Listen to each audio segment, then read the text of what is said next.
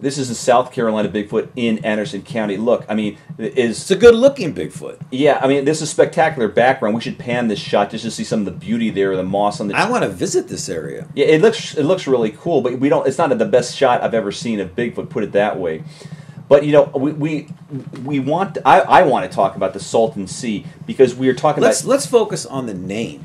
Salted Sea? Come on, where's that Wait, from? Wait, what? It's not salted sea. It's Salton Sea. T O Salton N. Sea. Salton Sea. Salton Sea.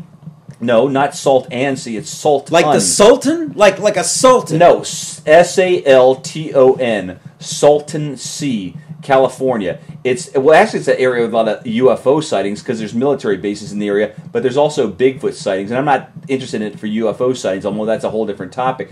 I'm interested in it for the Bigfoot You're sightings. interested in it for the fringe people that live off the grid that are hiding out there. That's what you're interested in. There's also Komodo dragons on the loose in the southern part. I don't know how they got. People suspect they got there from Mexico. They're probably yeah. I was gonna say from Mexico. You read my mind. What are you a mind reader? From Mexico. They're, I mean, these people are crazy along the border. Well, they, they brought them over as pets, and they got by customs, and they, they've snuck in them as, as Everything's baby. cute when it's a baby.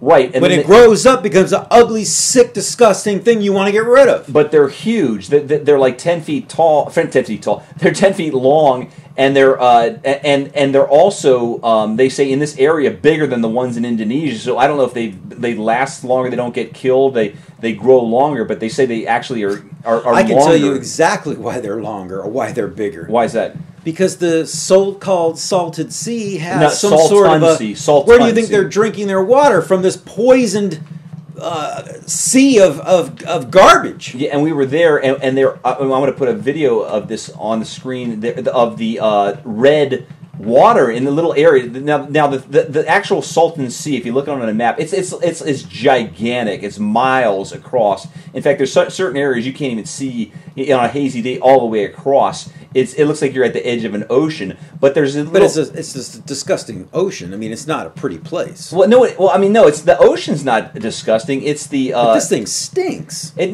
no, it, it used to. It's not. It doesn't really It's stink like that a much. toilet bowl No. of the, the desert. No, it's really not. I wouldn't say that at all. You think it smells? I think like, people are dumping things in there. Well, maybe some people are dumb. Yeah, of course. Uh, uh, well, I mean, they, they, they're- these these plastic surgery places pop up everywhere, and, and from Mexico, they've got all these weird things, and they're dumping stuff. You know, people's lard. And, the, the and- liposuction. Uh, yeah, rep- and they're sucking the stuff I out don't of know these fat ass people. And I got nothing against fat asses, but you know, come on. we got to talk about fat asses in the next episode.